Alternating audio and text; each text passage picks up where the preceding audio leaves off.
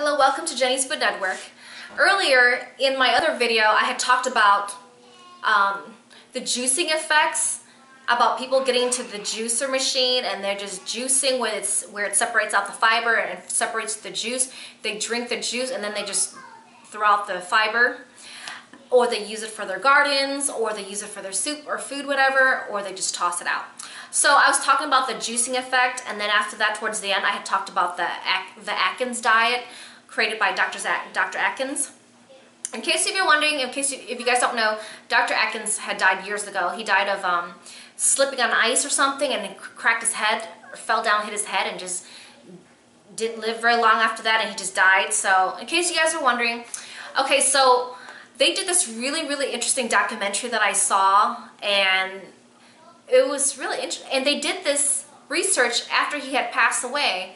So, they're saying is that for Atkins diet, how could it possibly possibly be that that to be on the Atkins diet, you have to be in a very high protein diet, meaning that you could eat a lot of steak, you could eat a lot of meat, as long as you're getting a very high protein meal, but you have to stay away from high carb foods and you pretty much something about you have to stay away from like fruits too because fruits are very high sugar and that with carbs is what makes people gain weight, you know?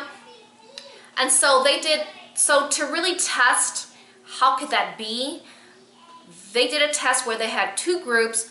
One group was the high protein group that ate mainly just a lot of meat throughout the day, very high protein, but they stayed away from all carbs, stayed away from like really high sugary stuff like fruits, for example. Okay, so, so the other group was the group that had a high carb meals, okay? And they had fruits and stuff. So what happened was, and they checked the weight of everybody as a group, you know? So the people in the high, in the high protein group, they had lost weight. And they had lost more weight than the other group that had like a very high carb diet with like, you know, the intake of fruits too, I believe. So the high protein group that ate a lot of meat, they had lost more weight than the other group. And they're like, how could that be? And so they had really, you know, investigated the whole thing and, and watched their habits and stuff. And what had turned out was how when you eat, when you eat meat, it is very hard to digest. It takes hours and hours for your body to digest, okay? And so the meat group, the high protein group that were eating a lot of meat, even though they were eating less than the other group, okay, because they said they just weren't that hungry.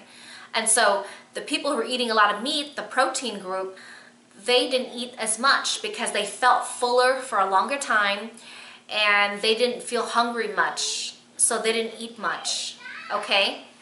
So that makes sense, right? Don't forget, when you eat meat, it is very, very heavy in your body and you feel fuller for a lot longer time. It takes hours and hours for your body to break down meat, okay?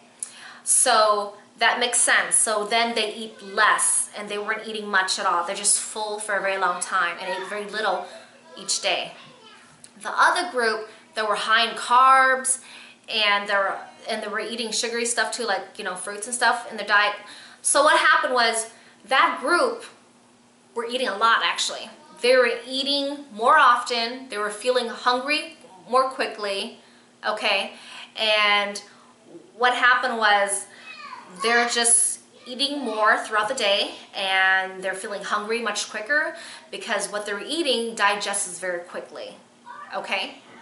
And this reminds me of another documentary that I saw that did a similar um, test on these two type of groups and to result in who performs better in exercising, okay? That really helps a lot. It makes sense, okay? So I'll just finish up this documentary I'm, I'm talking about. So what happened was that other group, they were not losing that much weight at all, okay? Because they're eating more frequently, they're eating more, and they were feeling hungrier much quicker than the other group. Okay, so that makes sense, right? So when you eat more often and you eat more of a bigger portion, and you're feeling hungrier more and more quickly, then you're going to eat more. Okay, so they're eating a lot more than the other group. even though the other side was more high protein, very heavy meats and stuff, you know? So it makes sense. So, so that's what was going on with the Atkins diet, okay? That was what, that was not explained by Dr. Atkins, okay?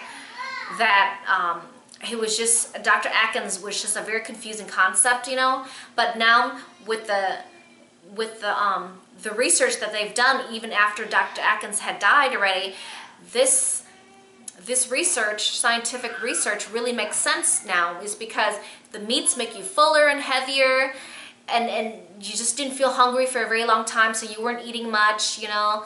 And But the other group, the food that they were eating digests very quickly, the high carb diet.